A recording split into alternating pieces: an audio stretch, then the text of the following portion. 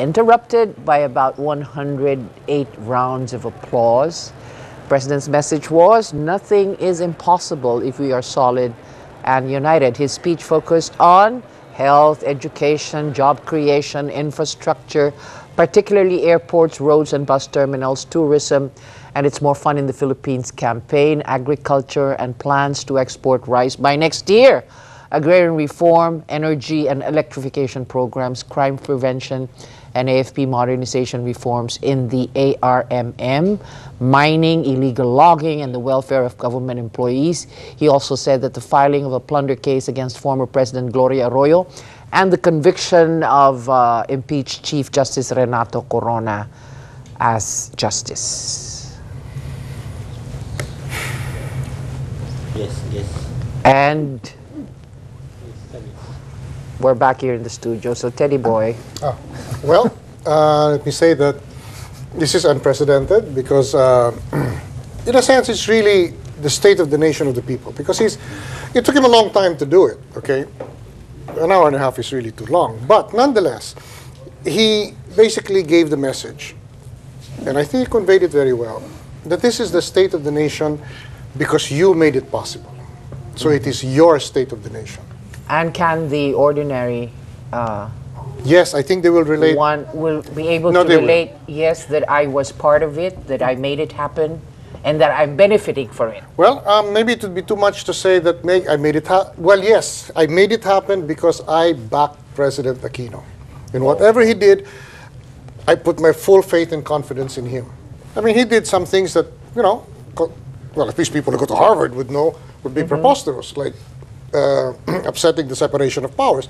But they put their faith in him and let him push through with what he calls his reforms. So without that popular backing, as he said, this is the state of the nation today, and that's because you supported me. Okay, just very quickly, I went through all the different kinds of programs that he did. Was there anything there that he, he enumerated uh, was really outstanding insofar as uh, the two years that he's had time to, to uh, do it?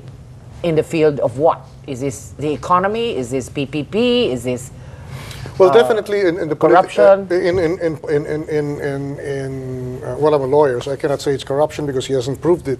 Uh, but I can certainly say that he certainly pushed through his political agenda to remove the chief justice and to imprison uh, the former president. And he did it, and he did it because he has popular support for it.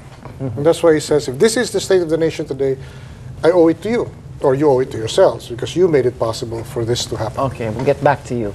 Uh, Popoy, what about you? Well, some sectors would be uh, jumping up uh, in joy with uh, the statements of the president, and some sectors who are probably uh, extremely unhappy with the with the SONA. Uh, on the part of the University of the Philippines, we're extremely happy with the with the SONA. Uh, not only because of the focus on reforming the public higher education system, but UP got the biggest uh, budget increase in its whole history 63% increase in the budget.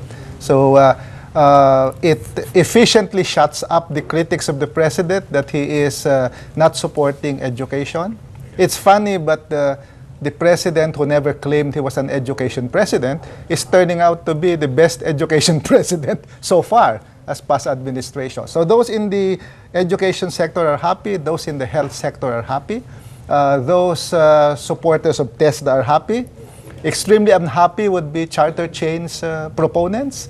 No mention of charter change. And? and FOI and RH advocates We will, are we will extremely get back unhappy. to that, uh, with, Popoy, with this one. He's, he's, he's going to explain to us. Uh, Ronnie, No, I think the president stressed one thing. If there's any accomplishment, it will be in terms of social spending, uh, in education and in health.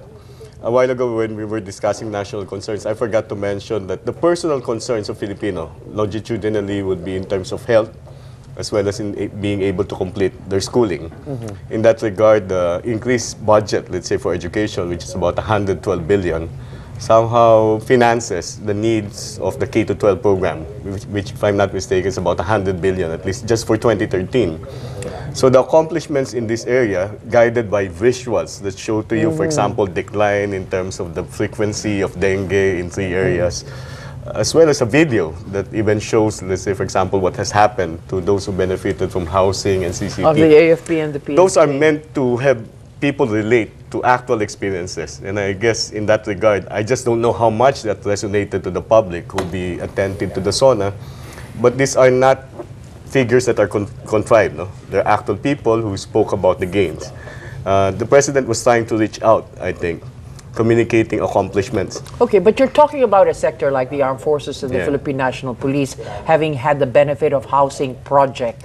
I don't know the exact number, but you're talking about the other informal hmm. settlers who don't have that kind of a housing project. You may have a hmm. group that's very happy, but you have a bigger population that is unhappy. Yeah. How, how does that how does that figure out in terms of balancing the messaging It's- it's- of, of benefits yeah. trickling down? It's long in accomplishments. It's short in terms of what he's asking for from Congress, and it's mm-hmm. also short in terms of defining or describing some of the limitations that he confronts.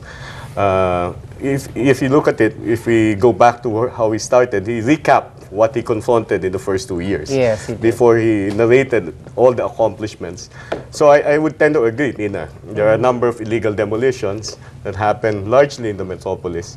But on the other hand, he has highlighted only benefits for a particular segment Yes. of the population, in this case for the police and the military. Okay. And people might be wondering, what has happened? What is your response to the backlog in terms of socialized housing? Um, But there are efforts like that that they're, they're trying to they're trying to say that they will be addressing that in the entire country. Okay. Well, the, let me say that it's also unprecedented in the long timeline. Uh, he speaks of accomplishments in 2016. So uh, that will be apparent in 2016. So in a sense, when his uh, spokesperson said it will be truthful, you might say it it is, well, yeah, it will be truthful in the sense that in 2016 we will know it to be the truth because he's working towards that. It's, it's probably the, the longest timeline of any SONA I've ever heard. It almost seems like um, the uh, uh, last sauna. He, that's what that I was trying sense, to yeah. Mm. tell you off, off the air, that he's mentioned of, of, of, of stepping down and ito na po yung aking ah, Well- isa sa malapit ng matapos na sona well, ko. no, not So, really. It's like ano yun? saying, it's like saying, okay, my timeline is 2016 for these things, and he has detailed them. In that sense, I was still right that the freedom of information was, in a sense, you know, he, this was a lot of information. This is an hour and a half, and um, you know, in, in that, in, in, by 2016, he said this. Uh, slice of my reforms Yes. will be achieved. Will- will that doesn't mean that next year he will not reveal another facet of reforms. Okay. what about a veiled reference to your forecast, fearless as it could be, about the reproductive health bill? Did he did he mention it in passing? Well, okay, he used the Catholic term Planned Parenthood. But he did, at least. Uh, you know, there was a plan, and it was together with education, and it was very specific. There are more kids than we can accommodate in our schools.